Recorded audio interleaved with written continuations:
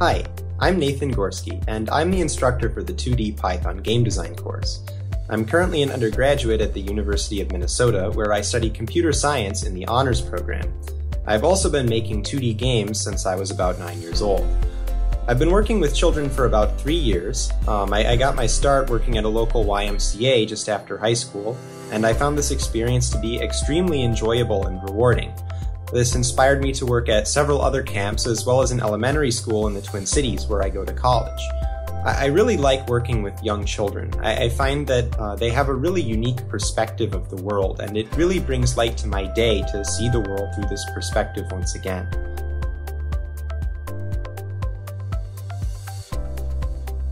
I think a good K 12 STEAM education is essential for our developing economy.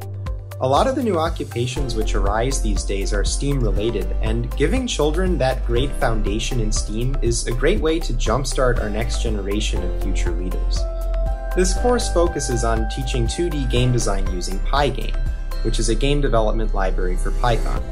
What makes this different from software like Scratch or Unity is that the games are written entirely in code, and students are responsible for all components of their game, as well as their interactions, rather than having a lot of this being done for them by a program. This more closely resembles a professional software development environment.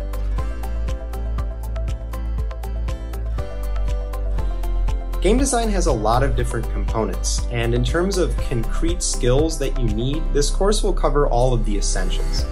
This includes basics of Pygame, like putting graphics on the screen, looking for inputs and animation, uh, game design theory, like how to properly lay out our code, some UI design, such as creating menus and things like saving and loading, um, laying out our own levels and worlds, and even making our own art.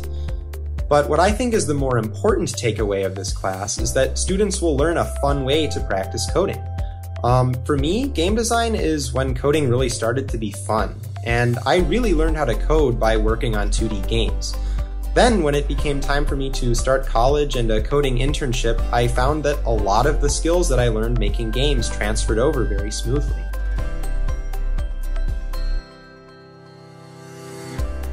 This course has three levels for a total of 20 classes.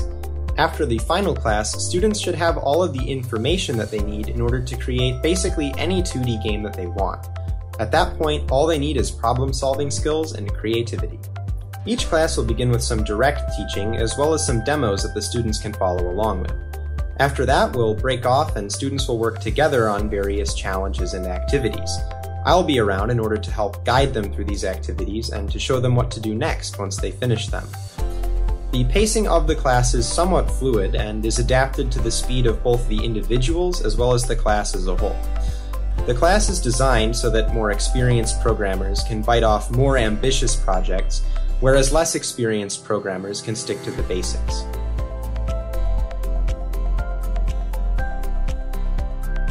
I would recommend this course for any student who's passionate about both programming and video games, and who has a big imagination. Game design, in my experience, is a great way to channel all three of these passions and make a concrete product.